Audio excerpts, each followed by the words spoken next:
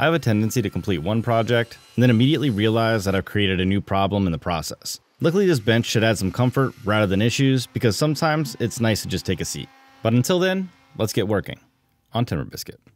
So, as I said in the opening, today I'm going to be building a bench. And I designed this bench to complement the dining table that I built in the last episode. The new table meant that I needed some new seating, hence the problem.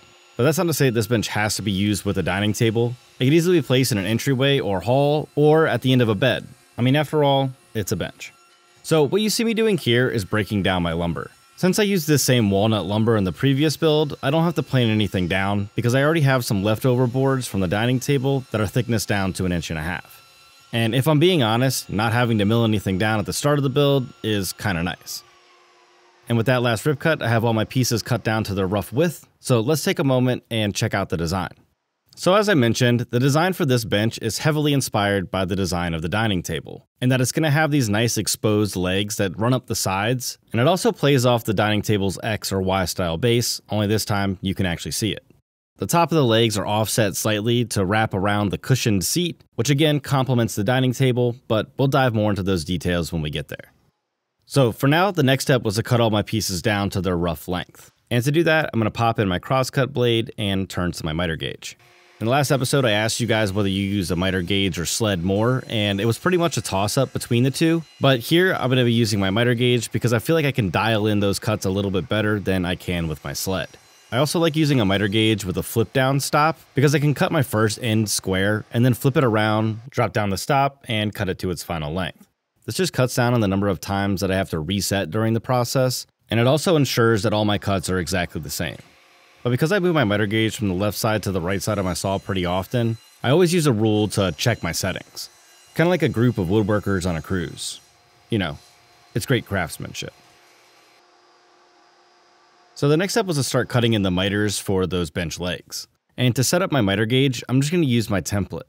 All I have to do is set up the angle so that it matches my blade width marking on the top of my table saw. Then from there, I can just lock the stop and make the cut. And as a side note, to make those, all you have to do is use a straight edge on the edge of your blade, and then use a utility knife to carve those into the top of your saw. They're really helpful for cuts like this, and I use them all the time. So once I had the lower miters cut in, I could flip the piece around and cut the miters for the top. Again, using those markings to align everything. Now because the angle is so steep here, I did use a clamp to hold my workpiece against the fence, which keeps my fingers out of the way and ensures the workpiece doesn't move during the cut. With this type of cut, the biggest thing to be mindful of is just to stay clear of that blade. And that's simple to do as long as you keep your hand on the miter gauge handle. There's a lot of blade exposed for this type of cut, so stay clear. Next, it was time to make the sled for my tapers. Now, I've shown how I build sleds in other videos, so I'm not going to dive into all the details. Instead, we're just going to speed through it here. So all I do is mark out my positioning and then screw down some setup blocks and attach hold down clamps on top. Since the width of my sled is set by my table saw's fence, I won't touch the fence again until all my tapers are cut. From there, all I have to do is pop on my workpiece in the correct orientation and make the cuts. Now, whenever you're cutting tapers, it's always a good idea to keep your body on the same side as your sled and away from the offcut. And that's because when you're cutting tapers, there's a higher risk for kickback. So it's best to use a zero clearance throat plate if you can, so that the workpiece doesn't wedge itself in between the plate and the saw blade. But either way, just take your time and your tapers should look great. So next it was time to cut the curved transitions and the lower base pieces. And to mark those out, I'll again just use a template. Once I have the markings on the workpieces, I'll take them over to the bandsaw and cut them out. Now here I'm aiming for my workpieces to be about a 16th to an 8th of an inch over my actual width and that's because the bandsaw blade will leave light ridges in the workpiece that aren't perfectly smooth. So I want to leave a little wiggle room for me to sand and plane back to later on. And then from there, all I have to do is rotate the workpiece around and cut in the curve. Again, staying about a 16th of an inch away from my line. And with some practice, these types of cuts become really familiar and a lot less intimidating, which gives me plenty of time to think about the bigger picture. Like, the youngest picture of you is also the oldest picture of you. Yep, those are bandsaw thoughts. So now with all my workpieces cut out, I could go ahead and get started on the joinery. And to do that, I first needed to set my blade to 45 degrees. Then from there, I could mark out all the final lengths for those mitered angles. Now just like the table, there's going to be two different angles that need to be cut here at different lengths, but both are going to be 45 degrees. And that's again because the joinery is going to pivot at the center, making a Y or X shape. So the outside miter angle is going to be longer than the inside miter angle. And that's because we want that inside mitered angle to be the exact width of the thickness of the stretcher. So there's a little math that goes on to get me there, but in reality, as long as all my pieces are the same, even if they're off by a hair, they're all going to be off by a hair. So there'll be some consistency there for me to work with.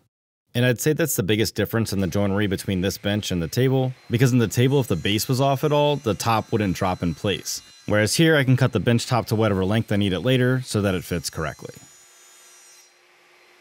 Oh, and since I'm talking about the measurements, if you guys want plans for this project, just let me know down in the comments, and as always, if there's enough interest, I'll put them together. So the last pieces to get cut down to their final length are my two stretchers, and I'm just going to do that by using a stop block and, again, my miter gauge. This is another situation where a clamp helps out greatly to make sure all my pieces are exactly the same, and that the workpiece doesn't move during the cut.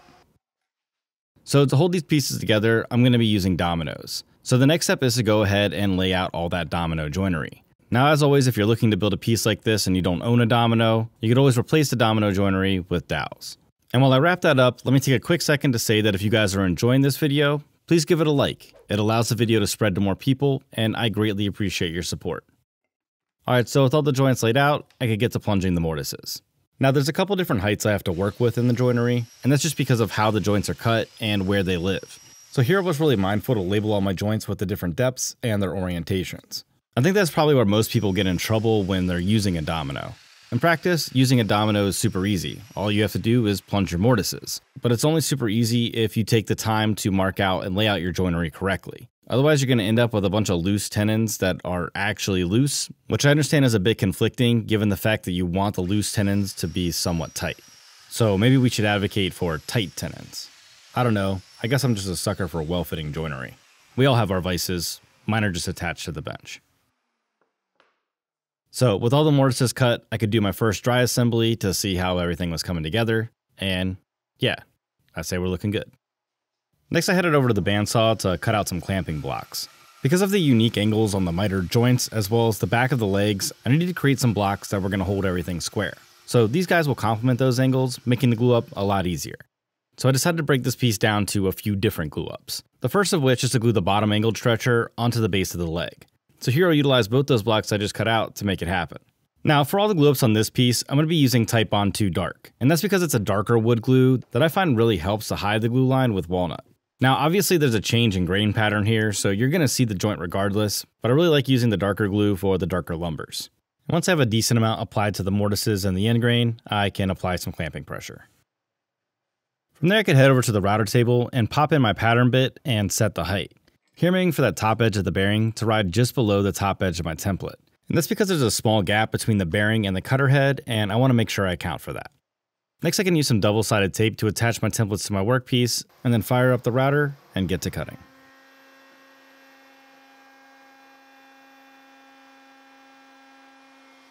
Here I'm not actually looking to follow my templates entirely, rather I'm just looking to finish that curve. There may be a small amount of material that's removed from the side, but like a short mother, that's a minimum. Then from there, I can just pop off the template, raise up that bit a bit, and finish the cut. And hey, if you're enjoying this build a bit, make sure you subscribe. I put out new videos about woodworking projects with tips and tricks all the time, so subscribe so you don't miss the next one.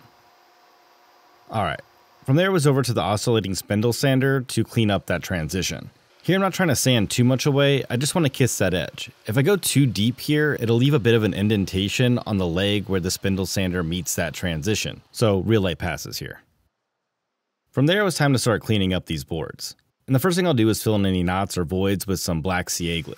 I like to hop back and forth between black and dark brown for walnut just because it has a more natural look, and that's the big benefit of using dyed CA glues. And with the knots all filled in, I could go ahead and use my hand planes to dimension these pieces to their final thickness and remove those saw marks. Now, because these pieces are going to live separate from one another, I don't have to worry too much about not changing that outside angle. So here, I just plane my pieces down until they're as smooth as I can get them. And of course, it goes without saying, make sure you go with the grain whenever you're using a hand plane, otherwise you'll get a bunch of tear out and nobody wants that.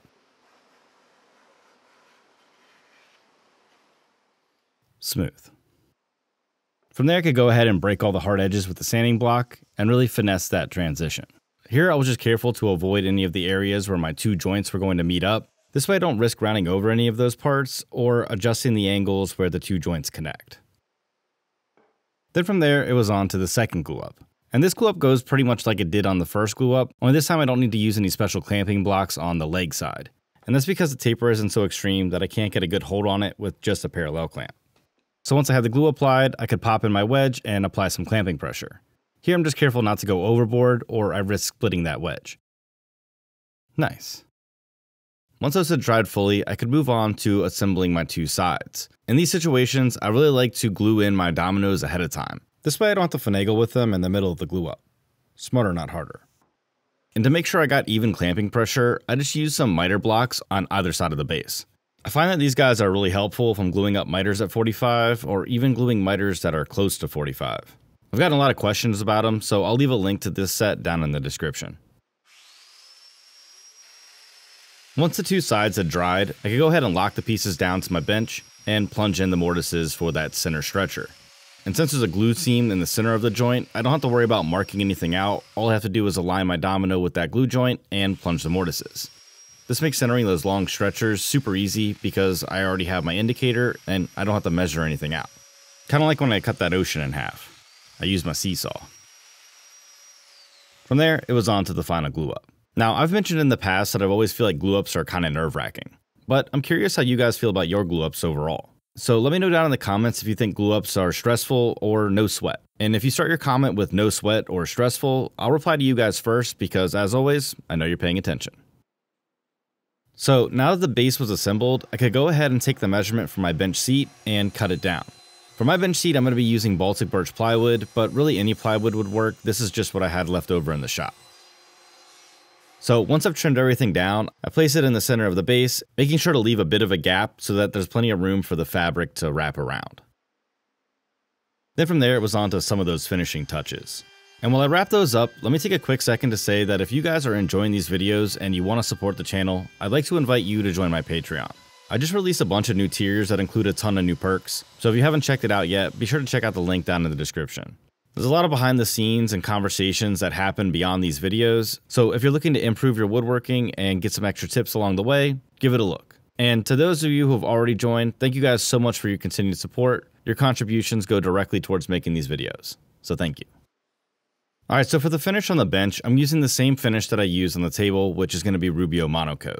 Again, I love Rubio Monocoat for its ease of application, its durability, and its repairability. And given that this bench is mostly going to be used by my 6-year-old son, I'll afford it any protections I can give it. From there it was on to the upholstery. Now, I don't usually go into detail on the upholstery, but I get a lot of questions about it in other videos, so I figured I'd cover it pretty quickly here. So once I've cut the padding and batting to their exact dimension, I use some spray adhesive to attach the batting to the pad, then trim off the excess at the corners. Then from there I cut the fabric about 4 inches larger so that I have 2 inches of overhang on all sides of the bench. Next I grab a staple gun and tack it in place. The trickiest part for this type of upholstery is just the corners, so here I just take my time to make sure I get the exact look that I want and staple it in place. From there I can trim away any excess fabric and work my way to a nice flat seam. It's just like when I asked my surgeon if I could do my own stitches. He said, suit yourself.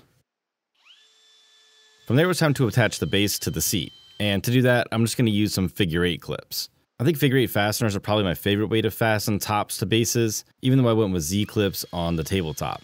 And I went with Z clips because I felt like there was a lot more wood movement that could occur with the tabletop. Whereas here, since I'm working with plywood, I don't really have to worry about that. So, figure eight fasteners for the win. From there, all that was left was to flip the bench over and check out those glamour shots.